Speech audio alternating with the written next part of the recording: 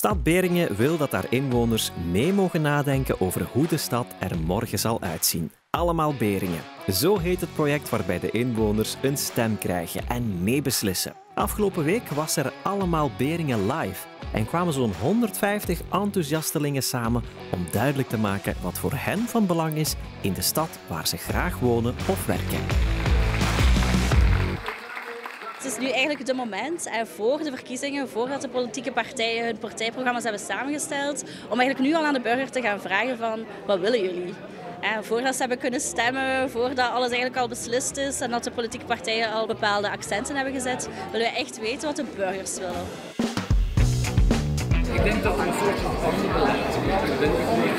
toegankelijk en zorgzaam. Het park hè, hoort thuis in het centrum van een dorp. hè, van een Ja, Sociaal woningen, eh, is, is daar nog plaats en mogelijkheden voor?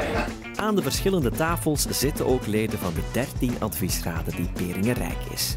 Die zijn allemaal op pad gegaan met een fototoestelletje en die zijn eh, foto's gaan nemen van zaken die ze in Beringen willen veranderen of net behouden willen eh, of nieuwe ideeën. En die liggen allemaal op de tafels van de adviesraden vanavond. Ook Els van het Armoedeforum ging op pad met haar fototoestel. dit is eh, van Vincentius, omdat wij het heel erg vinden als de mensen bij ons hun voedselpakket komen halen, dat ze dan in de regen buiten moeten staan wachten. En wij zouden dus heel graag voorzieningen hebben dat ze daar een beetje droog zouden kunnen staan. Beste deelnemers, jullie zijn ontzettend goed bezig. Dank jullie wel.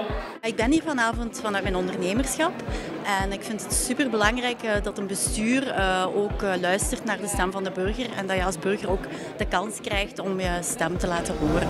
Ik hoop dat iedereen zijn mening durft te geven over wat ze graag eh, willen zien veranderen in Beringen. Of wat ook goed, eh, met wat ze goed bezig zijn in Beringen, want dat mag ook wel gezegd worden. Ja, en wanneer gaan de jongeren op straat hangen in het weekend? Hè? Want dan zijn die, nou, dan zijn die niet op school. Hè?